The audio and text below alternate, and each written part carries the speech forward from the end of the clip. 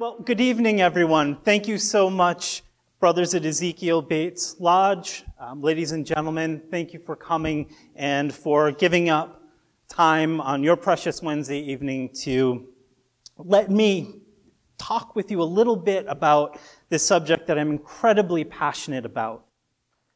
When you think about beekeeping or apiculture, it's sort of like talking about farming. It's a lot of stuff a lot of things go into it. People get formal education in this. So, how do I distill it down into a 20 minute talk? That was a big challenge. So, I decided that I would frame this in terms of the seasons and getting ready. So, if you want to become a hobby beekeeper, what are the, the big questions that you're going to be asking yourself? What are the main things that you're going to be doing during each season? And how can I present that in a way that won't put people to sleep? So the first thing is to have lots of pictures, which you'll notice. I start. There is a PowerPoint. There are maybe 10 slides. It's mostly pictures. Promise. And for everything that is up there in a picture that I had, I brought it with me. So I'll be passing stuff around and we'll make this interactive as we can. I do want to mention there's a dog on the screen. She's not a bee. There are no, no bees quite that big. The reason for that is when, we, when I started beekeeping, I created this entity called Beeland Apiary. It doesn't really exist. It sort of exists. I use it to, to tell stories. And there are three executive officers. The first didn't want me to introduce her, but I'll point to her as my wife, Shauna. She's our chief idea officer. She's the one who had the idea hey, why don't we keep bees? And you can do all the work. And you can go outside. I think it was partially a way to get me out of the house, outdoors, and in the garage during the winter. So she's the brains behind the operation. I just do the beekeeping stuff, the work, get dirty. And then we have Lena, who couldn't be here tonight. She's our chief quality officer. And so before any honey or any comb gets passed on to uh, our, our friends and family, she inspects it, tastes it, makes sure that it's up to uh, her standards. Very spoiled dog. So my plan for this evening is to keep my talk to about 20 minutes, um, hopefully less. Um, we'll, you can let, let me know uh, if I'm going a little too slow. Lots of photos, lots of props, and then the rest of the time, just going to open it up for questions. I'm not going to talk about being stung. I'm not going to talk about how to do certain things because everybody has a different way. It's sort of the religion and politics of the beekeeping world. So I'm keeping it a little, keep the conversation pleasant. But I invite you to ask me those questions. Ask anything that, that you've wanted, and if I know the answer, I'll share it, and if I don't, I promise I won't make anything up. So the first question that you're going to ask yourself is, do I really want to keep bees? Bees are not pets. They don't love you. They don't come when you're called. They're stinging insects. They're wild animals, they're livestock. And you have to go into it with that, knowing that it's livestock. You're farming. Um, so, how do you answer that question? I, I strongly encourage you to read everything you possibly can read. Um, I have read a half dozen books. There are websites. There are forums out there. Lots and lots of information. And this is my one shameless plug. I have a website. I don't sell anything. I don't make any money off of it. I just tell stories. But if you, um, it's beelandbees.com. You're welcome to. That was actually, I started that because of the next point that I'm going to make. When you do do your reading, and you, you do talk to people and ask, it's very important to take everything with a grain of salt. You will be told, this is how you keep bees. No, no, no, no, you're doing it wrong. You need to do it this way, or you need to do it that way. And the truth is, you're going to make your own way. You're going to find out what, what works for you, and that's part of the fun, part of the, the journey. It's that experimentation. It's learning something every year. Next question What kind of bees do I want? Now, hopefully, I, I know I should be looking towards the camera a little bit more. Hopefully, you can see those two side by side pictures. Those are both honeybees. Do they look the same? They look kind of, they look like bees. No, what's some, what's one big, huge difference? Color. Yes, these are bright yellow. These are not. These are a dull gray to black. The ones on the left, the yellow ones, those are Italian bees. So they're uh, a particular strain that obviously originated in, in Italy. Um, the ones to the right are called carniolan.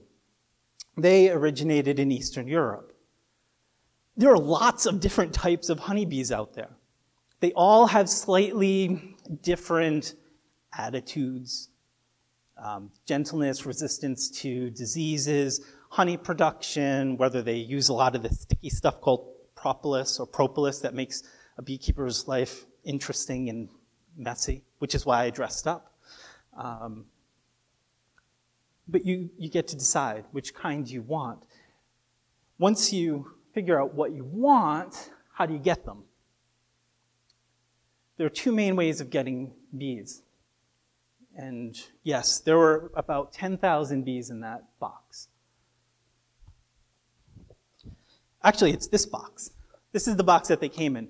So Italians tend to come from, they usually come from down south. This, this box gets loaded onto the back of a truck and driven up here, and then you get them. So these, they, hopefully they don't fall off the back of the truck, but this is it. You get 10,000 bees, three pounds, you get a queen in a cage. And I'll have these up here if you, if you want to um, see them. The queen is in her own cage because we all know the queen rules, right? She, she controls the hive. She's also not related to those other 10,000 bees. They literally just dump bees into a funnel that go into that. This queen is not related. So it takes time for them to accept her. Uh, so she's separated so that they don't kill her. Um, so this box, these, if you're interested, they, they usually run 115 to 135 dollars, and there's no guarantee on how long they survive. The other way that you get bees ugh, is you get one of these. These you have to go and pick up. You get a, a white box, and it's beaky, but everything gets a little dirty. In this box will be five frames. You get five frames with a queen, and there are eggs, and there's larvae, there's brood of all different stages. It's a miniature colony. It's called a nuc, or a nucleus hive. It's a fully functioning mini hive. And so you take your five frames and you plop them into your woodenware, and they go. These you have to pick up, they're not delivered, and these run, uh, say, 165 and up. You have your bees. You know what you want, uh, what kind of bees you want, how you want to get them. Then more decisions. And this is where it can be mind boggling. This is a, a hive. It's a Langstroth hive. It holds each, it's composed of boxes. Um, each of these boxes holds 10 frames. You get to choose all these different components. All of these things come apart. Every one of these, there are options. Do you want to build it? Do you want to assemble it? Do you want to pay somebody else to do it? Do you want to bother painting it? Do you want to pay someone to do it? Do you want inexpensive wood? Do you want really, ex- really expensive wood? What do you, how much time do you want to invest in it? Do you want holes up here? Do you not want holes up here? Do you want little boxes, medium boxes, big boxes? And then you're stuck with them for at least a year. So these are choices that you want to think through. And this is where you start to build your style of beekeeping. I always run um, two, two deeps, and then I use these mediums for honey collection. Other people will, will do it differently. But you get to choose. Inside these, there are, there are 10 frames. Let's, so th- this is a frame where the, I cut out the, the comb. Um, so there's some wax still around the, the edges. But again, of course, you can take a look at this after um, if you're interested. There are at least six different options for this, this frame. The frame itself. Then you get to decide what goes inside of it. Plastic, wax, is it wired, is it all these decisions. And all these decisions make a big difference at the end of the year when it comes time to collect honey. Because some work well. Sometimes you have an ex- experiment. I don't know if you can see the tops of these, but there's a, a code. There's, um, there are words, uh, there are letters, and there are numbers. This was something I took to last year because I couldn't keep track anymore. And this box is full of experiments. Each of those codes, those letters, represents a different way uh, of uh, frame configuration and want to see what worked and what didn't. So that was my way of tracking it. Oop, do want to get them? So you make all these decisions. You get the stuff. It comes in, and what do you do? You need some safety equipment. I'm wearing most of mine. That's why I'm so dressed up this evening. As long as you're cuffed, uh, tight cuffs so bees can't crawl up your sleeves. Um, some people will tape their legs, pant legs shut. I don't worry, I haven't had them crawl up. Although there is a, a funny little reminder that sweat rolls down your leg. If you feel it rolling up, you have a decision, another decision to make. Um, Luckily, that hasn't happened quite, uh, hasn't happened yet. Uh, but there are three things that I, I, never go to the hive without. Three fundamental pieces of, of safety equipment. The first is a veil. Uh, if I'm going to get stung anywhere, it's not going to be the face. That's dangerous. And so it's just uh, a pith helmet at this point with the, a big veil. And, whoops. There we go. Boom, this ties. And that's enough to keep the bees off, off of my face. Mostly safe. They will crawl around. You'll see, if as long as you see legs pointing towards you, you're good. You start to see wings, and it's time to very slowly take off the veil. Now, I started wearing one of these. Uh, this is what I started with. It's an all in one smock with the um, a veil built into it. And you can get these on Amazon, and they're like 20 bucks. Don't pay more. Please, they're all the same. Um, can I ask, how thick is that? It's, it's, yeah, it's really thin. This does not stop stings. But what it, so I used to fence. You know, fencers, I guess I do hobbies that involve white. Fencers wear the, the white uniforms.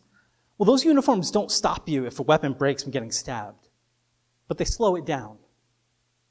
So it, it, it um, mitigates some of the damage. Well, that doesn't stop the sting, but the bee goes, eh, gets the, the stinger hooked in and then pulls away. And it, the bee will pull it and it'll pull the material away so it doesn't go into your skin. And that's the idea behind it. So even if you get stung, the venom doesn't get injected. Second piece is the um, smoker and I did not clean this. So if one of the things about beekeeping is it, is, it involves sight, smell, all of your senses. So uh, if you give this a couple of puffs, you'll get a whiff of what it's like to be at the hive. This is very important because it blocks the chemical signals that the, the queen has in, in the hive. Um, it also blocks, when you get stung, it's a one and done for honeybees. They get one shot. That's it. This, their singer gets pulled out. They leave a tracer behind. So you've seen bank robberies, you know, sometimes the teller will put in an ink pack. Okay, it's like that sting is like an ink pack. And it tells everybody else in that hive, get them there. So when that stinger comes out, very important, smoke it and kind of just disrupt that, that smell. It also calms the bees down. They eat the honey.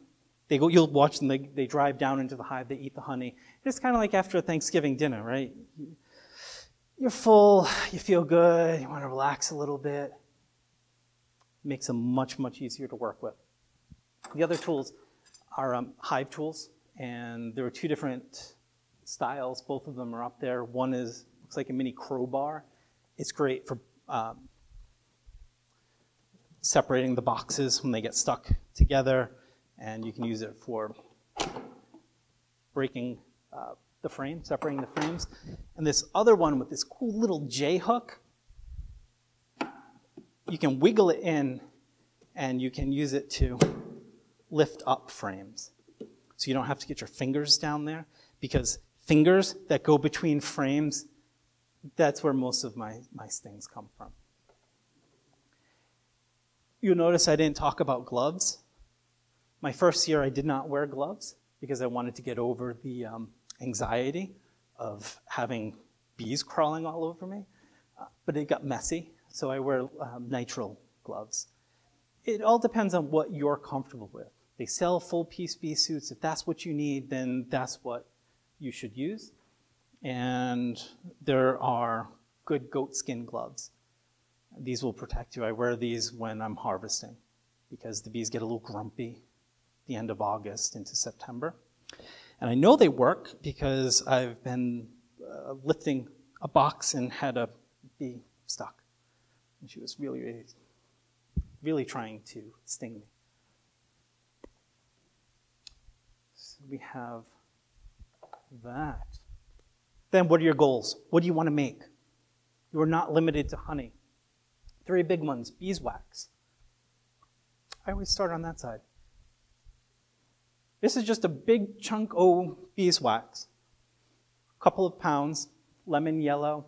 This is from virgin pure, uh, I should say pure, virgin wax. So this, no bees have been bred in this. This came right from the honeycomb. This is the stuff that you want in your lip balm or your hand cream or whatever. You can focus on this. You can focus on honey, which is great, or um, bees. You can take your hive, and if it's strong enough, you can split it. You go from one to now you have two, but you have two small colonies, so you're not going, you're not likely to get honey. So there, there are a series of trade-offs that, that you make. But you plan these out ahead of time so you know as you're going through the season what you're trying to do. During the spring and summer, this is very gloss over. Every weekend I go out and work with these amazing creatures. You put your bees in, a hi- in the hive, and then you monitor them. So you, you go out, you inspect them on a regular basis or as needed. And the one thing that I didn't do the first year that I learned is keeping records. You'll see some of my records are very sophisticated. I didn't have my, my journal, so I ripped uh, you know, cardboard. It's actually dated 3-ish October 16. But there's enough information on here that I know what was happening and I can compare it before and after and do that. So that was very, very important lesson learned. Fall, harvest. Um, take your, clean your wax. That's what these pictures are. So this is an extractor. It's not something that I usually use. Usually I, I crush and strain because I haven't learned how to use it all that well yet. Um, I have even, oh, I bought a honey, honey knife. A capping knife. It's a hot knife, so you can slice the cap off. And then you put it, the, the comb in the extractor and you spin it around, and the honey casts off to the side. The knife gets really hot. I didn't know that honey burned. It does, and it's very hard to clean off afterwards. And, and if you don't have wires in your frames, I learned this too, and you, you spin them, the frames go boom, and they blow out to the side. And you have to crush it anyways. So last year was a big, big learning um, experience. And then melting, melting the wax. It does not start like this. Um, I have frames with the wax. It's, it's very, very different. You get to fish out bee parts, and it's very primal. You wrap up your year. What am I going to do differently? What do I want to do next year? And these are three examples of things that I want to do more of, or, yeah, I do want to do more of. Um, the drink to the left is called a, a beekeeper's balm. It soothes stings in a hard day out at the hives. I want to use honey more. I have it. I don't cook with it very often. I don't do much with it. So this is an opportunity. Looking for opportunities to do that. The cut comb was an experiment. There's some up here. And those markings that I showed you, that was an, an experiment. So now I'm thinking, what do I want to do differently next year? What worked, what didn't?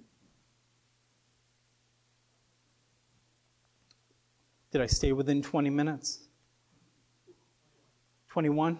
Not bad. Maybe less, I don't know. Every time I practice, it goes a little different. Um, what I'd like to do now is just, yeah, open it up and let's have a conversation.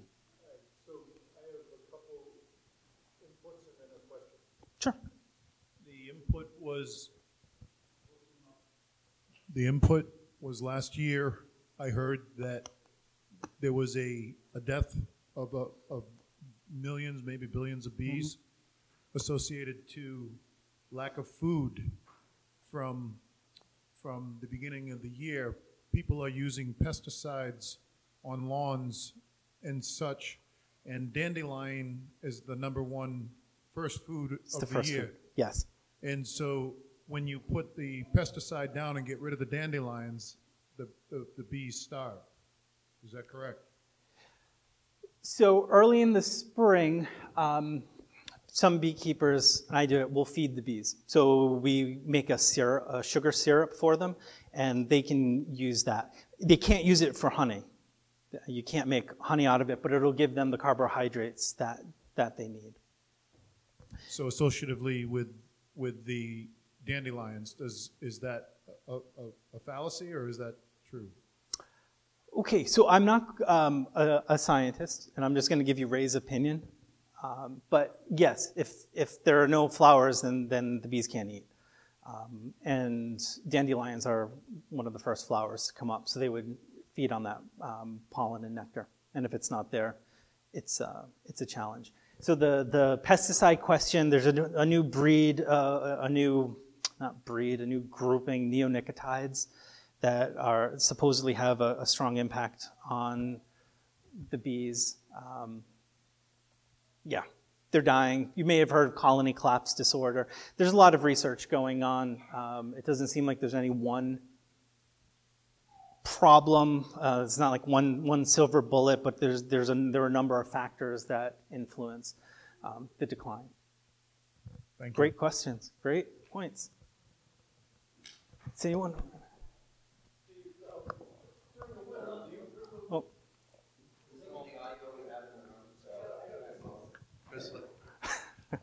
Uh, do you do anything special for them in the wintertime? Uh, do you keep bring them inside, or do they stay out in the snow?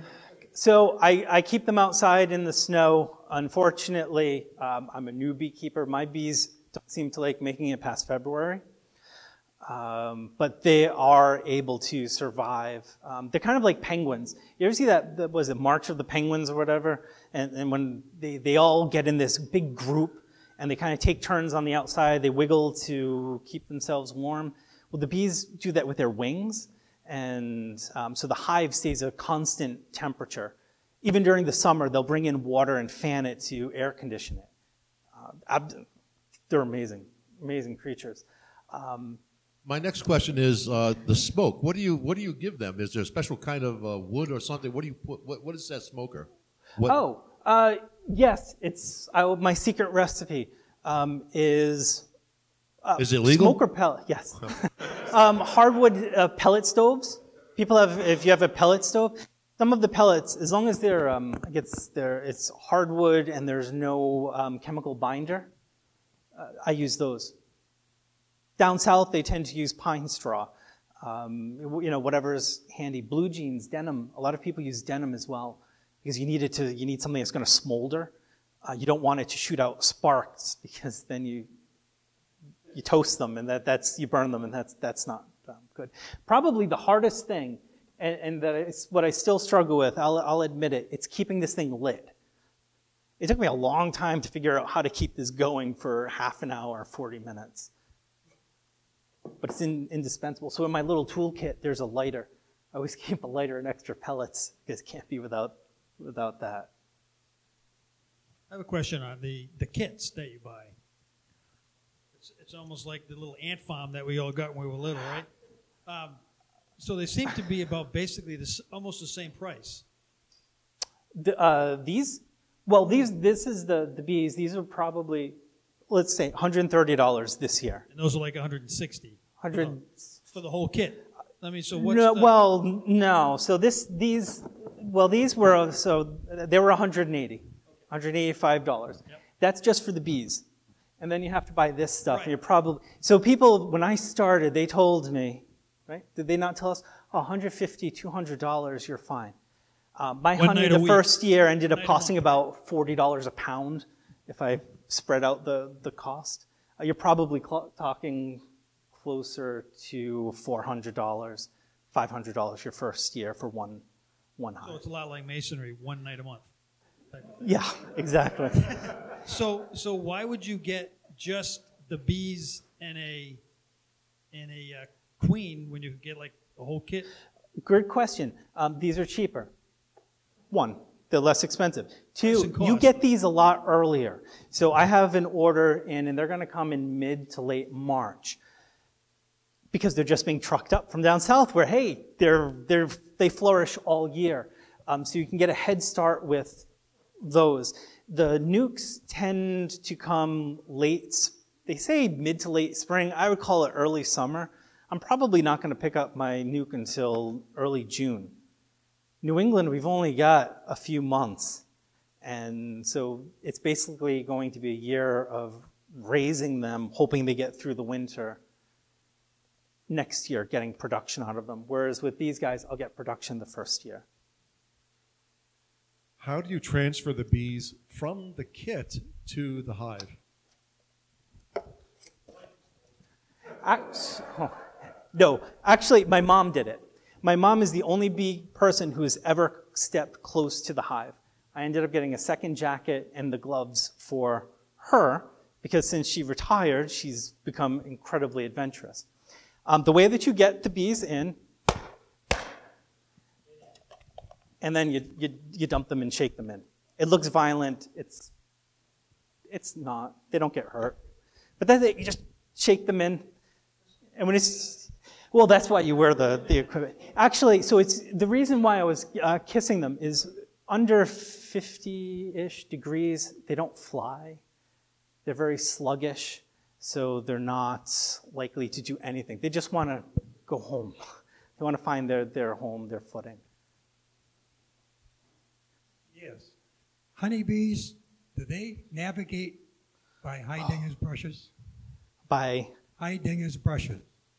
high, You don't know about those? no.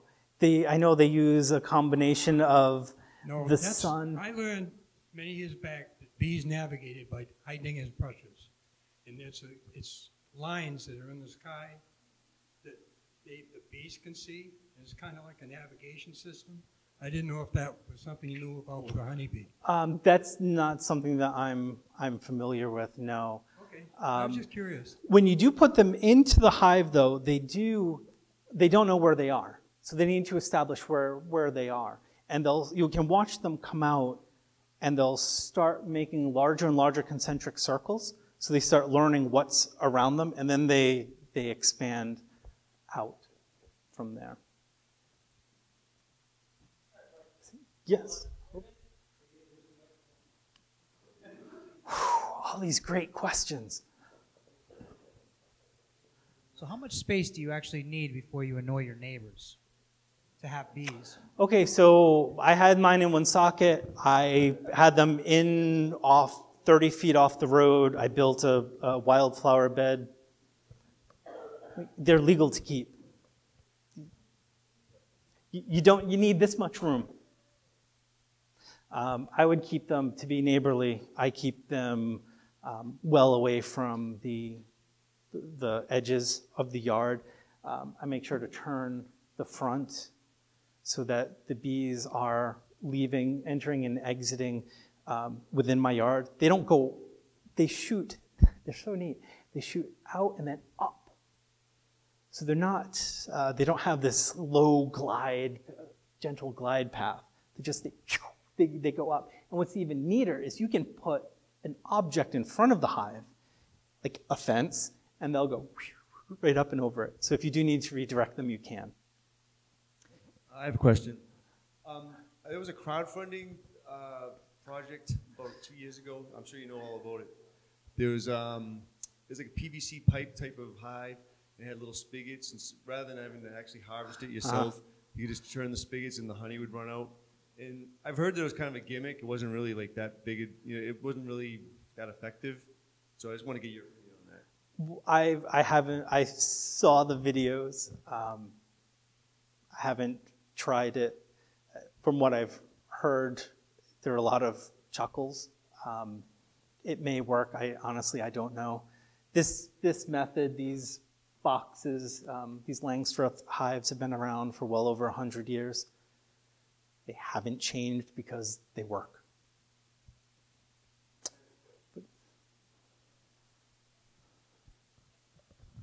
the flavor of the honey. Yes. There's, I've heard there's a couple of different styles. Is it what they eat, what flowers they eat? Yes, so it's based on the flowers that they eat.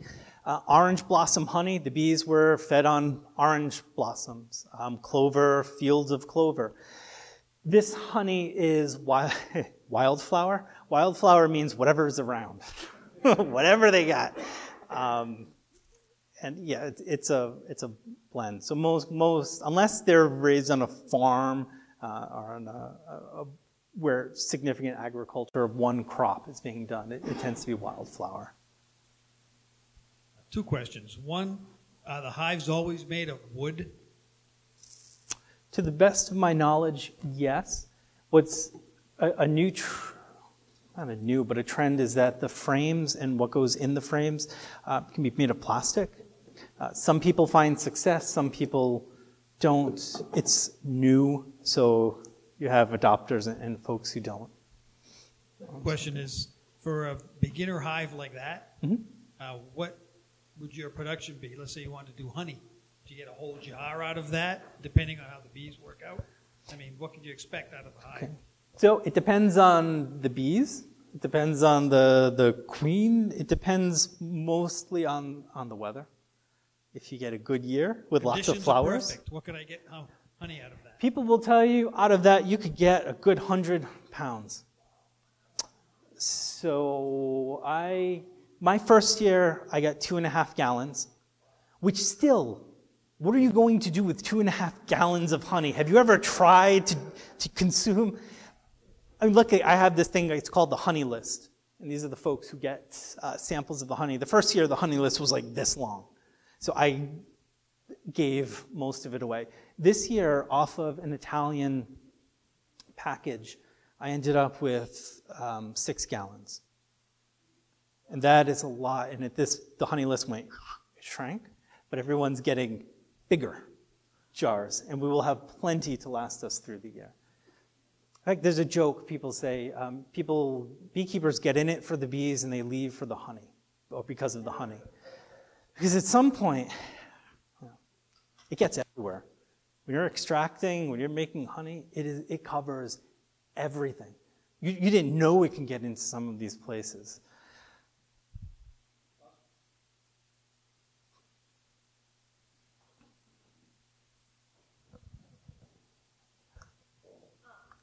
How many bees can you keep in that hive? Great question. So about 10,000 come in there in the package. So you start with 10,000, probably at its height will hit about 60,000. Um, um, oh, how do you make the honey? When you extract it, it it's just honey? It's, Well, sort of. Um, I'm going to show you some ugly comb.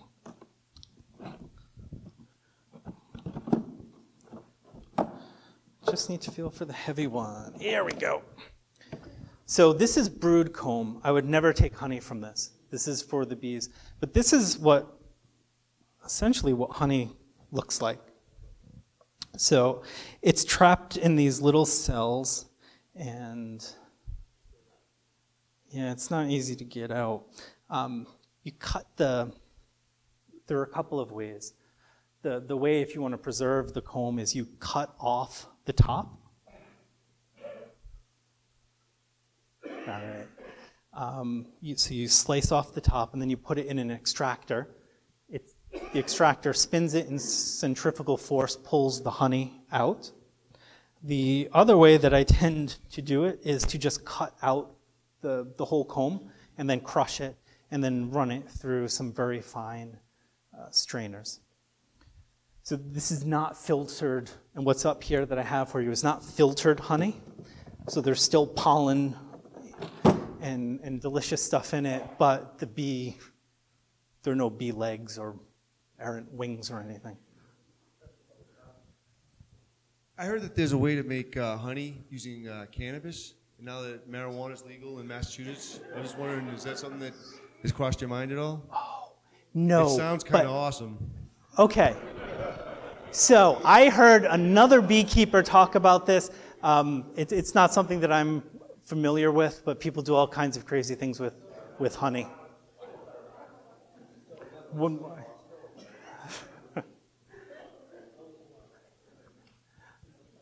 Okay, so I got another question. okay. There is filtered honey and there's raw honey. Raw honey, I believe, is not, you can't give it to children under the age of one year old. Um, and that comes in a waxy form that is unfiltered, I believe. Am I correct in, in saying that? So filtered honey um, is generally what you'll get at the, the grocery store. It's very, very clear. It, it's gone through, well, a filtration process. This uh, raw, there, there's no standard um, that I'm aware of, but raw honey, pure honey from the hive honey, that's, that's just, it hasn't been filtered, but it's been strained. Yes, um, but I see. I, I, I, I use a, a, a table, a teaspoon of, of raw honey every day in my coffee. So, should it be used for children? Again, I'm going to say I'm not a medical doctor, so this is not medical advice. But everything I've heard and read, you don't feed honey to children under a year old because um, honey contains, I think, the botulin. Um, so it's it's not safe. I don't think anyone Yeah, that that, that's a steer clear. I believe that's what I read was was that the that because they don't take out they don't put temperature to it. Yes, it's not, so it's not heated, but when it's filtered, um, so honey is very thick. If you warm it, it gets thinner. And if it's thinner, you can shoot it through the pipes and the filters faster. Yeah. So that was my point. Yes.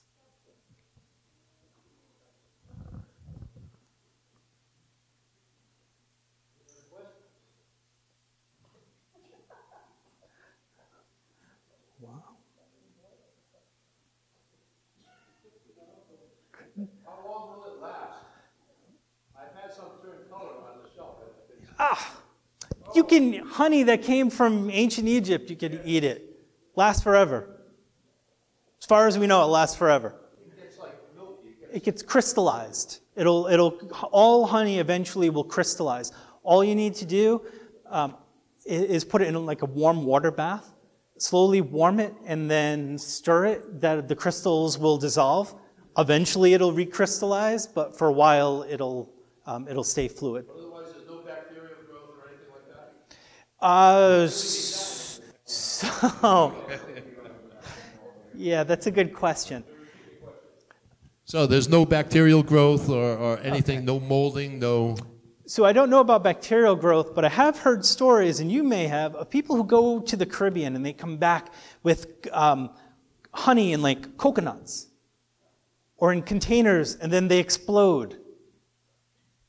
So it turns out honey isn't really honey until it um, until there's a certain percentage of water in it. There's a max percentage of water. So what I do is, and everyone does it, you'll buy a refractometer, and this lets you test the amount of water or the amount of sugar that's in the honey, and it has to be below a certain percent, or it can ferment, and you end up with mead or some kind of fermented um, honey. So. Just saying as if I, I think I think we all have that jar of honey in our cupboard in our fridge with it's all twisted up around the cap. You can still eat it instead of throwing it away. Oh yeah, yeah. I mean, honestly, I throw mine in the microwave for you know 10 seconds at a time, uh, just to warm it up. It's fine. They say that you know the right way to do it is warm water bath, but as long as it gets warmed, it's fine. Don't scorch it; it stinks and doesn't come off. Uh, when you do not refrigerate, is that just because it's hard to serve, or does it actually do something? No, uh, I think it's just because it's, um, it's, it's hard to serve. So the comb that, that's up here has been in my freezer since probably I harvested it in the spring. It's fine. You can freeze it. In fact, with comb, you do want to freeze it because it's good. There, there, there are things that you don't want to know about your honey. And so previously frozen comb is okay.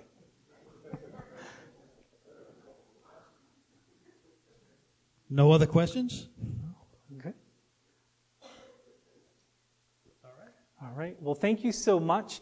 Um, I'll stay as long as anyone um, wants and, until I get kicked out. So if you have other questions, if you want to touch, play with, experience anything up here, I also have three honeys that, uh, for you to ta taste if you'd like. There's the comb from the spring, and then there are two vintages from Beeland Apiary. Um, and thank you so much for, for letting me share this time with you. I really appreciate it. Beeland. Thank you. Thank you.